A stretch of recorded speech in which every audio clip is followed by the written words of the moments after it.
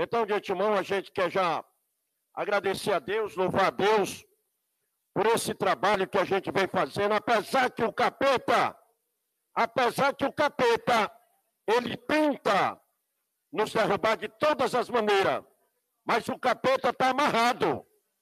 Ele está amarrado em nome de Jesus.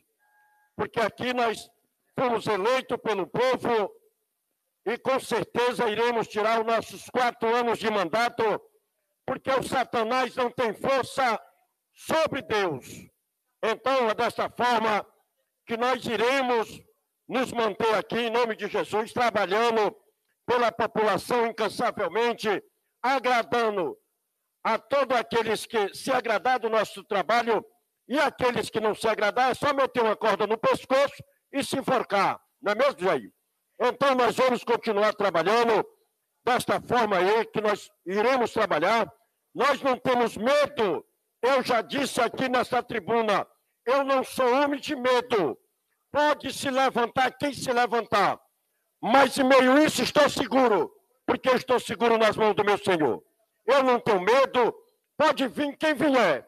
Vamos continuar trabalhando incansavelmente pela população de Timon.